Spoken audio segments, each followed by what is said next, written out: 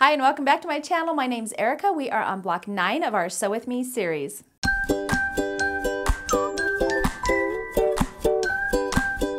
Block number nine in our Sew With Me series is this cute pinwheel block. Now we are going to be doing a little bit of a variation on the pinwheel. The traditional pinwheel would just be those pink and background fabrics, but we're going to add in that fun blue, navy blue accent fabric behind. So it kind of looks like there's a square peeking out behind our pinwheel. This is really fun and easy to make. I'm calling this the double pinwheel because I couldn't find the exact name for it. Um, a double pinwheel traditionally would actually have the fabric going going right here on this diagonal. So the blue would actually extend up right here and would be more in the shape of a triangle. But I thought it would be fun to do something a little different, so we're gonna do the square behind the pinwheel. In today's video, we're also gonna learn all about bias edges and how to handle them. I'm gonna show you some tips and tricks so that you're not afraid of any patterns that might call for a bias edge cutting in the future. So let's go ahead and dive right into our fun pinwheel block. Make sure you download your free PDF pattern that will be linked below the video. And if you're having a hard time downloading it, right click on the link and then select save file as and that should work. So here is our fabric that we're going to need for today.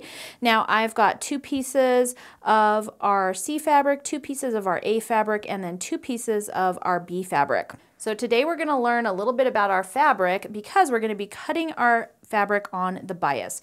So if you take your fabric and you stretch it with the grain. This is kind of like it would come off the bolt. You can see it's not very stretchy, but if you stretch it diagonally, there's quite a bit of stretch there. That is your bias edge. So if you ever have a pattern that says you're going to be cutting on the bias, or if you're doing bias binding or anything like that, it means that you're going to be cutting your fabric going diagonally across the grain, which is going to give it a lot of stretch. And so in order to work with that without our pieces stretching around too much and distorting, we're gonna go ahead and just lightly starch our fabric. So I'm gonna use Mary Ellen's Best Press. This is just a spray starch, but it's kind of, in my opinion, a lighter starch. I don't feel like it makes your fabric quite as, um, I don't know, stiff as like a heavy starch would. So I actually really love using this. And I'm just going to show you how I use it here. Now, ideally you would probably starch your fabric before you cut out your squares. Um, I didn't today. And one thing that I will say is if you're going to be using like the really heavy duty starch where you really saturate your fabric, it can actually cause your fabric to shrink. I've never actually had my fabric shrink when I'm using the Best Press. So um, I haven't actually worried about it. But how we're going to use this is really simple. We're just going to kind of spray some on here. And then we're just going to take a nice warm iron we're just going to press it until it's dry. So very easy. And you can do both sides if you want. If you have something where you're doing really small pieces or, um, you know, where you just really need things to be accurate, you can spray both sides. Truthfully, I almost never do that. I almost always just do one side. And you can see that our fabric now has kind of more of a um, stiffness to it. And I'll show you if we do, we'll do two sides on this one and really you can saturate it. I didn't do a very good job there, but I'll just show you what it looks like when you do two sides. So this piece we've just done one side. This piece we've done two sides.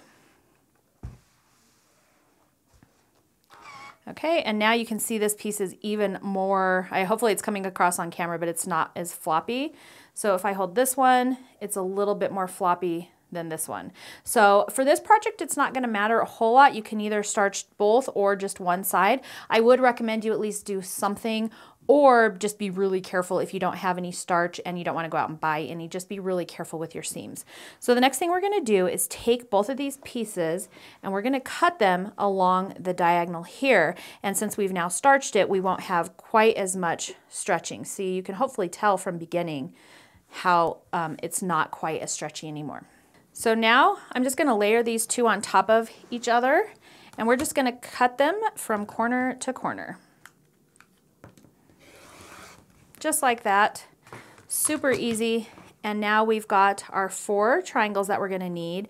And also, I'm not going to pull on it too much, but this edge is a little bit more um, stable now. And actually, let's do a sample. Let's just cut this one just so you can kind of see. Okay, so this is a piece that I lightly starched and you can kind of still see the stretch there. It's not bad. Let's take one of these pieces that I have not starched And we'll cut that one on the bias. And then look at that. Okay, so that's a lot of stretching right there if you're going to be trying to put a block together. And as you can see, my fabric is already kind of distorted even from its original shape. It's no longer perfectly, you know, square. It's got this like kind of bow to it now. So that is why starching is helpful. And that is what I wanted to kind of share with you in today's video. So now that these are prepared, we can go ahead and just set these aside. And we're gonna work on these pieces. So these are our A and C pieces. And I've got two pieces here simply because I'm working with my scraps, but if you can do a longer piece, that's fine. You just need to be able to get four pieces that are seven and a quarter inches out of it. So um, I have two of each strip here. And we're just gonna sew these together, right sides together, one quarter of an inch seam. And I'm just not even gonna pin them because I did give you guys a little bit of extra leeway for cutting. So I'm just gonna take both of these over to my machine and we're just gonna sew those up.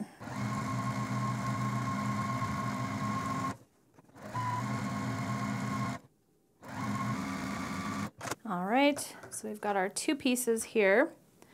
And then now we're just gonna press these, and I always press towards the dark, um, unless otherwise specified by my pattern. So I just set that seam, and then I'm gonna flip and just press it open. And I like to just do my best to keep it straight. And then we're gonna do this one as well.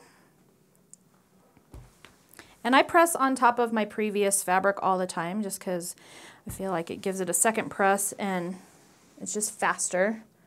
And I'm kind of all about saving time where I can. All right, and then now we just need to trim these up. And so I can just trim them together if I want, just because that'll make life easier. So I'm just gonna line these up. And as you can see, my edges over here are not perfect, and that is fine. I'm going to just grab my larger ruler and we need to trim these to seven and a quarter by seven and a quarter. And it's going to be a little bit longer than you need this way.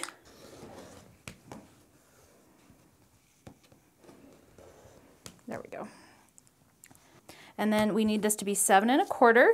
So I'm to go ahead and turn my ruler here and line up my seven and a quarter there. And this is going to end up at eight inches just because of just the measurements. And so we'll also have to trim a couple, a little bit of the sides off too. But first we're gonna trim it to seven and a quarter. And you will have a little bit left over. As you can see, I just gave you a little bit extra just to make life easier for you. And then now we're gonna trim it this way. And you're gonna need to trim off about a quarter, well, about an eighth of an inch off of each side just to make it your seven and a quarter by seven and a quarter. And I just did that to make the original cutting instructions a little bit easier for you.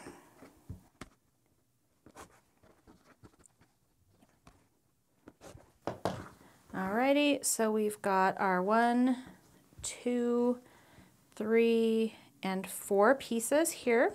And now we're going to go ahead and grab our triangles. And we're just going to be careful with these because they are starched but they'll still stretch a little bit. So we're going to take our first piece and we're going to take our triangle and we're going to lay it so that the corner of the triangle is on the white part and the tip is coming over here on to your blue part. And then for this I am going to recommend um, uh, pinning and I'm going to pin at the ends. And then I'm also going to pin in the middle because that's going to help give this bias edge a little bit more support. You could even pin, like if, especially if you didn't starch, I would maybe even add a pin here and here. And that's gonna help that from stretching when it gets pulled through your machine because as your machine pulls this through, your feed dogs are grabbing your fabric and pulling and it can distort this edge. So we're just taking all of these precautions to help make sure that our fabric doesn't stretch. Now you could have just kept this piece whole and you wouldn't have to worry about any of this. But I A wanted to waste a little bit less fabric and B I wanted to talk to you about bias seams and how to handle them. And so this is why we are doing it this way. But you could have used four seven and a quarter inch squares if you wanted of this pink fabric and then you wouldn't have to do any of this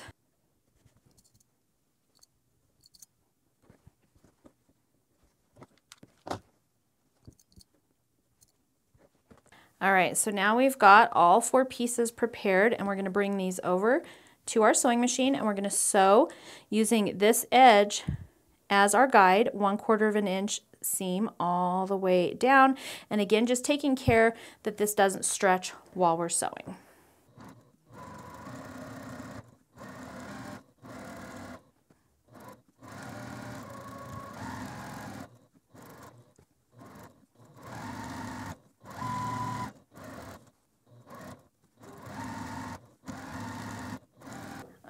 Alrighty, here are our triangles. Now I'm going to do what I do in some of the other videos and I'm actually going to go ahead and press this back before I trim it off. So I'm just going to set that seam and then just press that back. Okay, we're just going to do that on all of these.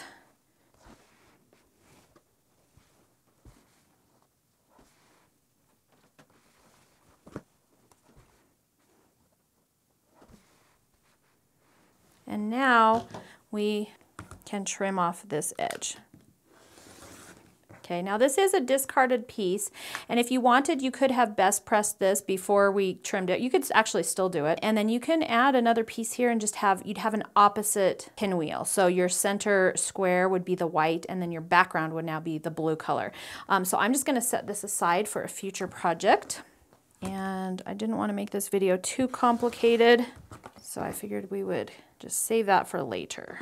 But whenever you're doing like a half square triangle where you kind of need a specific side of your square, like this side, if we were to, we couldn't use this side, okay? So as you can see, the blue is kind of the smaller bit. If we had put this on here, if we'd put another side on there, it would be opposite. And so we can't really use that for this project. So just something to keep in mind whenever you're doing something like this where you need it to be a specific direction.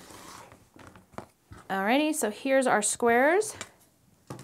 And now we're to square this up. So we have plenty of fabric here to square it up. Um, and so we're to square this up to six and a half. And so what I'm to do is I'm actually to place my ruler so it's right along this line because I want as much blue as I possibly can. And so we're to be just cutting off a little extra. And whenever I do um, half square triangles like this where there's more than one piece that's going to be added, I will make them just slightly larger than what they need to be. That way I end up with a perfect piece. If you get too close on these and your sewing is a little wonky or anything like that, then it's really hard to try and fix. So I just always like to err on the side of caution. It does waste a little bit more fabric, um, but I prefer to have perfect blocks, like this block is the exact perfect size, in, even if my sewing isn't perfect, I can still end up with a perfect block.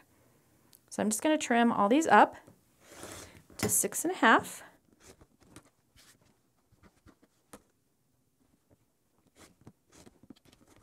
So now we have our four pieces that are identical and all we need to do now is just lay them out.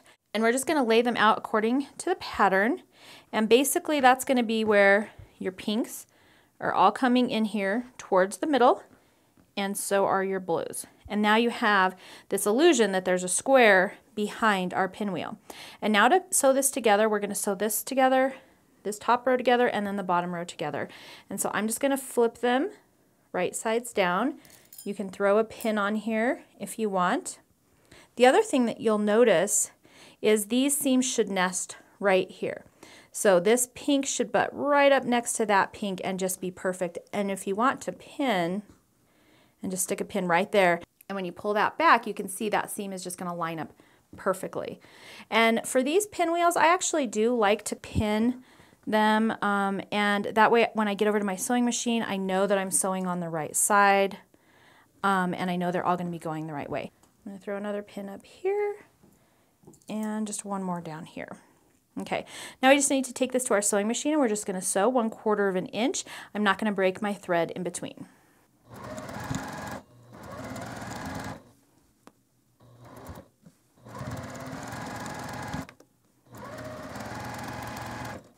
Okay, so we've got our sides.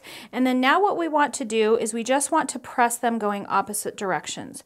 So for example, and for this it's not going to matter a whole lot, if I press this way, then when I lay these together, those seams in the center will nest. So I'm going to do that.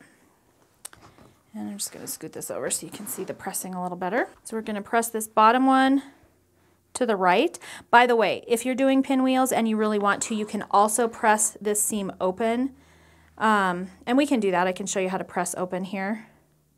Uh, that will reduce some of your bulk here in the middle. When I'm pressing open, I'll always press to one side first like this, and then I'll go ahead and just take my finger there and just carefully press it back. So now they're pressed open. That's going to reduce some of this bulk in here and I usually will stick a tailor's clapper on there as well and just let that cool and then um, as that seam cools it's going to stay nice and flat for you and then when we sew these together you won't have like a huge bump in the center of your pinwheel.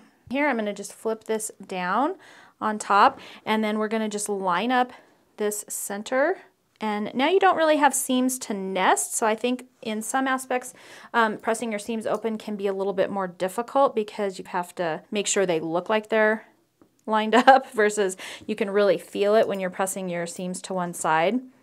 But for the sake of the pinwheel, I think pressing open is always a good idea because it can really reduce that center bulk there. Okay, now we can just take this to our machine and sew along this edge and we'll be done with our block.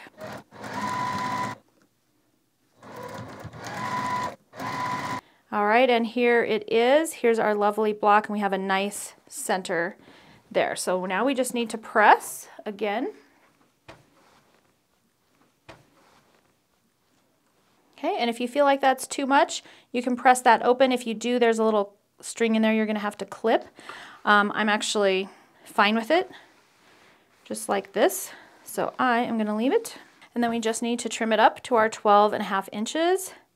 And this particular 12 and a half inch ruler has white lines that go right in the direct center and then there's a small little circle here in the middle. So hopefully you can see now, but there's white lines that indicate the exact center of the block and then there's this tiny little circle right here in the middle. And so that is perfect for these blocks. I can line up my diagonal line here. I can do those um, horizontal and vertical lines and know that I'm gonna have a nice accurate block. And this block actually looks really good. I've just got a little bit extra over here on one side. And you know from watching previous videos that I prefer, let's go this way, to trim up my blocks, even if it's just a little bit. Okay, that's all we trimmed off. And there we go. Here is our finished uh, double pinwheel or square in a pinwheel or whatever you want to call it, block number nine.